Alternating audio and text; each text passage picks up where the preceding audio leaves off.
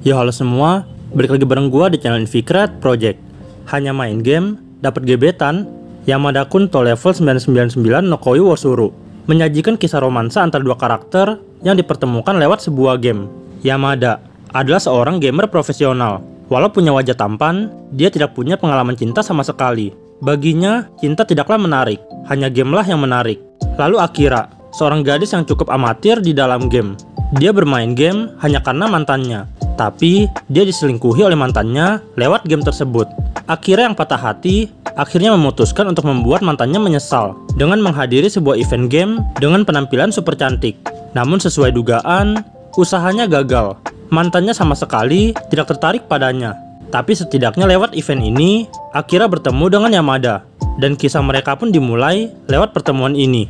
Sekilas, premis ceritanya memang terasa biasa saja.